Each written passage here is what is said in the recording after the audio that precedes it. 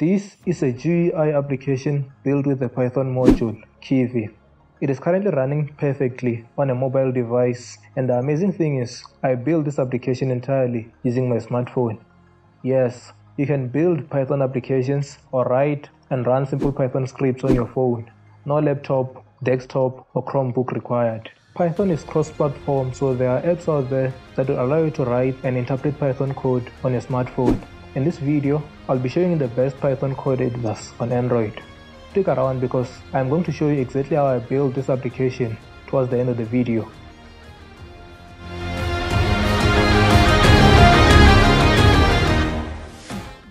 Before we begin, hit the like button, subscribe and say hi in the comments down below.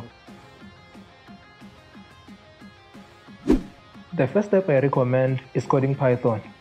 This app is free, offline, and available in the Google Play Store. It includes a built-in code editor and interpreter, so you don't have to install anything else. The limited customization options, user-friendly UI, and the minimalistic design of this application makes it the best IDE for people who just want a simple but effective way to edit and test Python code on their phone. There is syntax highlighting, error checking, an extended keyboard, and auto code completion but no auto indent. This app is a good Python editor on Android, but if you want something with more features and more customization options, I have three more apps for you.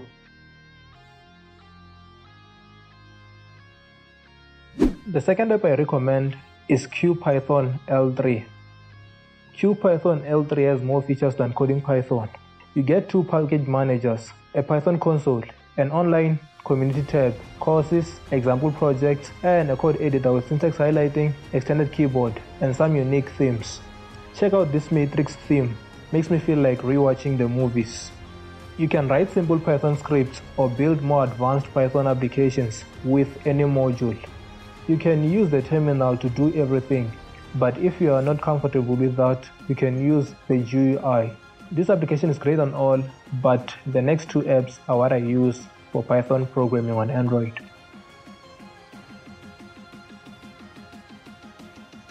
PyDroid is probably the most popular Python code editor on Android.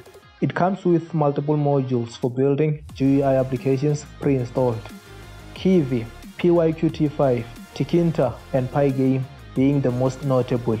The code editor is decent but feels slow compared to the other apps. Installing modules feels easier because there is now a pip GUI in the application.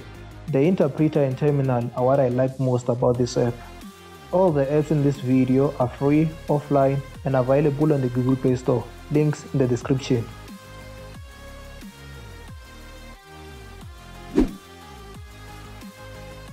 And at number one, we've got the best Python editor on Android as of the recording of this video.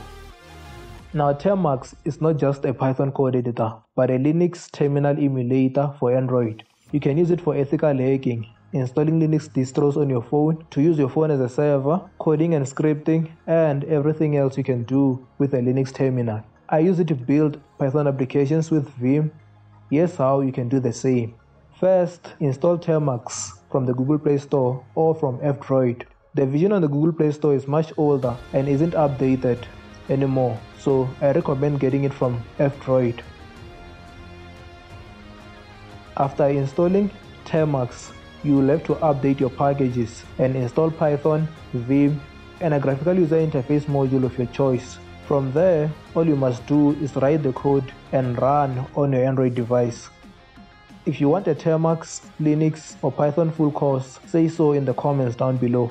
Thanks for watching. I'll see you in the next one.